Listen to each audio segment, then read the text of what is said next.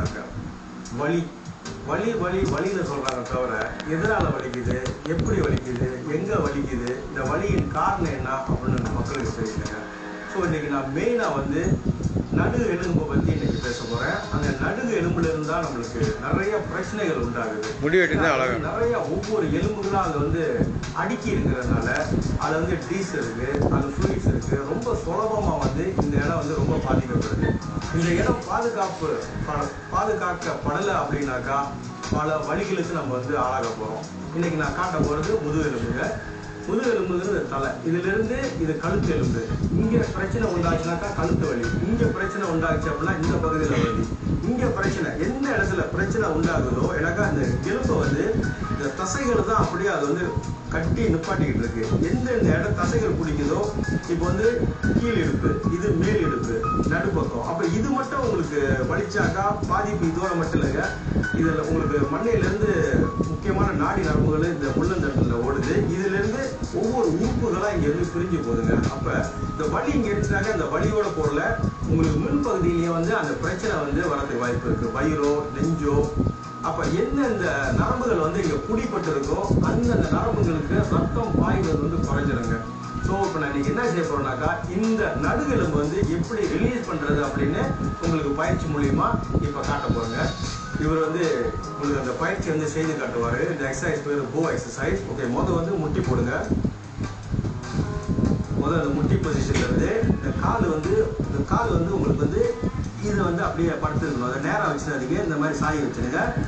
அஹ் இது கொஞ்சம் விலகி இருக்கணும். இந்த இடம். இந்த இடம் விலகி இருக்கு. இதில் அப்படியே அவர் உட்காந்துட்டாரு இப்போ என்ன செய்ய போறோம்னா அப்படியே கையை நிமித்தி மின்னுக்கு ஸ்ட்ரெச் பண்ண போறாரு. ஓகே இதுக்கு பேர் போ எக்ஸசைஸ்ங்க இதில் ரொம்ப முக்கியம் வந்து இந்த இடத்த வந்து இந்த மாதிரி சாஞ்சி இருக்கணுங்க. படுக்க வச்சிருங்க. இப்போ பாருங்க எங்கே எங்க இப்போ ஸ்ட்ரெச் உண்டாகுது? இந்த எக்ஸசைஸில் வந்து மேக்சிமம் உங்களுக்கு வந்து இந்த கால் விரல்ல இருந்து நுனி கை வரைக்கும் எல்லா பகுதியிலையும் வந்து இப்போ வந்து ஸ்ட்ரெச் உண்டாகுதுங்க. மெயினா வந்து பாத்தீங்கன்னா நான் சொன்ன மாதிரி இந்த முதுகெலும்பு வந்து ஃபுல்லா ஸ்ட்ரெச் உண்டாகுதுங்க. இந்த முதுகெலும்பு ஸ்ட்ரெச் பண்ணும்போது அந்தந்த இடத்துக்கு இப்போ ரத்தம் பாயும். ரத்தம் பாயும் போது ரத்தம் பாயது மட்டும் இல்லாம இந்த முதுகு எலும்புக்கு இடையில வந்து சைட்டோமியல் ஃப்ளூயிட்ஸ் அப்படின்னு சொல்லி சில நீர்கள் இருக்குங்க. இந்த நீர் விலகி போச்சு அப்படின்னாக்கா இது வந்து இறுக்கம் காணுது இப்ப இங்க என்ன நடக்குதுனாக்கா இந்த முதுகெலும்பு வந்து ஃபுல் ஸ்ட்ரெச் இது வந்து எத்தனை நிமிஷம் நீங்கள் செய்யணும்னாக்கா இது ரொம்ப முக்கியமான ஒரு பாயிண்ட் நீங்கள் நோட் பண்ண வேண்டியது வந்துங்க. தேர்ட்டி செகண்ட்ஸ் முப்பது வினாடிகள் வந்து இந்த பொசிஷனை நீங்கள் ஹோல்ட் பண்ணுங்க. அதுக்கு குறைஞ்சி செய்தாலுக்கா அதோட இஃபெக்ட் வந்து அதோட பலன் வந்து உங்களுக்கு முழுமையாக அடைய முடியாது.